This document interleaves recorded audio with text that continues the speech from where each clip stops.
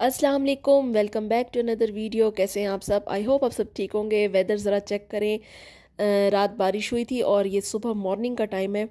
सारे फ्लावर्स भी और ग्रीनरी हर चीज़ धुल के बहुत ही खूबसूरत है और बहुत ही ठंडा मज़े का मौसम हुआ है। तो इसके साथ ही मैं रमज़ान प्रेप भी स्टार्ट की हुई है. मैंने थोड़ी बहुत ये टमाटर और प्याज इनको मैंने ग्राइंड करके तो इनके क्यूब्स बना के रखें और साथ में ये चटनी का है, धनिया, पुदीना और सब्ज़ मिर्चों वाली। तो इसकी मैं डिटेल शेयर करती हूँ। अच्छा ये मैंने लहसन अदरक भी ग्राइंड करके रख ली थी। ये तो खैर मैं हर मंथ ही करती हूँ और ये सूखा धनिया मंगवाया था तो उसको भी ग्राइंड करके रखती है।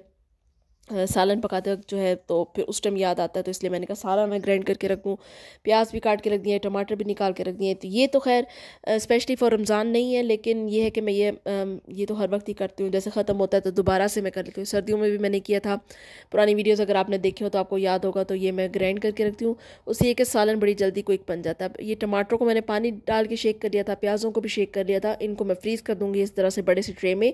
तो तकरीबन एक डेढ़ इंच की जो है, ये लेयर हो जाती है। तो इस तरह से ब्लॉक में फिर कट करके मैं इनको डब्बे में रख देती हूँ। और ये है लहसुन अदरक का पेस्ट, जिसको भी मैं काफ़ी दफ़ा शेयर कर चुकी हूँ। मैं पानी और थोड़े से ऑयल डाल के इसको शेक करती हूँ। ये क्या है कि कलर भी ख़राब नहीं होता स्मेल भी नहीं आती। अब फ्रीज़र की सफ़ाई हो रही थी तो ये मैंने मलाई भी निकाल के रखी हुई थी। इसको भी मैं मक्खन बना के रख दूँगी, ताकि फ्रीज़र भी एक साथ जो है क्लीन हो जाए। तो ग्रीन चटनी की रेसिपी आपके साथ शेयर करती हूँ। ये है सब्ज़ लहसन और पुदीना। और साथ में है ये धनिए का बहुत बड़ा गट्ठा डबल वाला।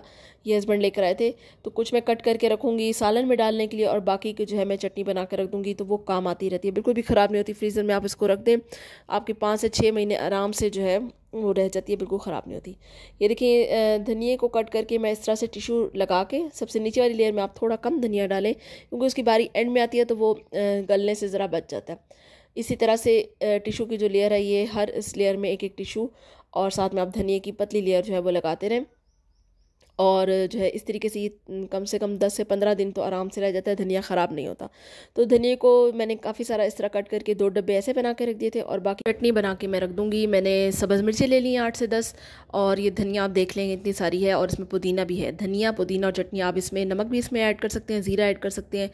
तो बड़ी आसानी रह जाती है। मैं आम रूटीन में भी ये बना के रखती हूँ, आपने मेरे ब्लॉग्स में देखा होगा कि जब भी मैं कोई चीज़ तरह की चटनी बनाती हूँ तो मैं यही ब्लॉग ही निकाल लेती हूँ और दही में उसको डाल देती हूँ जब तक कि वो जो है ब्लेंड हो जाती है।